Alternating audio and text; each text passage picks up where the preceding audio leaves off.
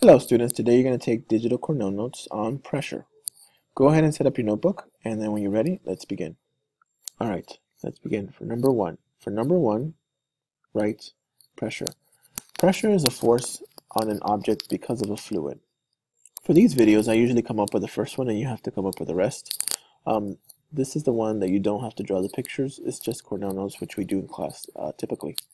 So for number one, you can write what is pressure or what causes pressure. All right, let's look at a picture.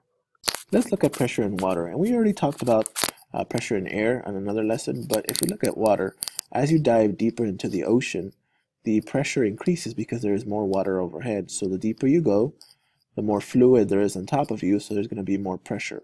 So at the bottom where the Titanic is sunk, or if you're in a submarine, there's going to be more pressure, 110,000 kPa, which is Pascal units, because there's more fluid. So pressures are caused by fluids. Okay, when you're done with number one, let's move on to number two. Pressure is measured in pascals.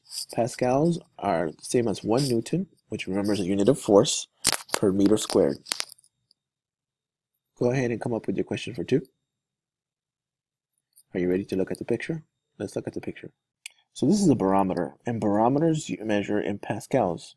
Basically, it has like springs inside, and when the atmospheric pressure or the air squishes on it, it's going to move the needle back and forth. And um, that's how we can tell how much air or water pressure there is because the pressure causes the springs to coil or uncoil depending on how much pressure. So over here there's a lot of pressure and over here there'll be a little pressure. So again, pressures are measured in pascals. Okay, if you're ready, let's move on to number three. If not, pause the video here. All right, number three. The amount of pressure you exert depends on the area over which you exert a force. So area affects pressure. Go ahead and think of your question for three. Okay, now let's look at a picture. If you've ever been in the snow with your regular shoes, sometimes have you noticed that your shoes sink into the snow? But if you use a special kind of shoe called a snowshoe, the area is increased, so the amount of pressure you're exerting downward has changed because of the larger area. So you won't sink into the snow as much. So again, the main idea for three is that pressure is affected by area. Okay, moving on to four, the last idea for today. A fluid. Fluids are any material that can easily flow or move and can change shape. Usually they're liquids or gases.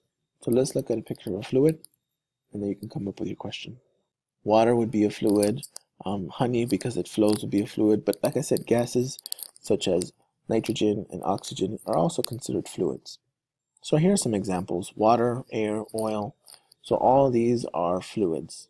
Go ahead and write down your uh, question for four, and then write your summary and your advanced question.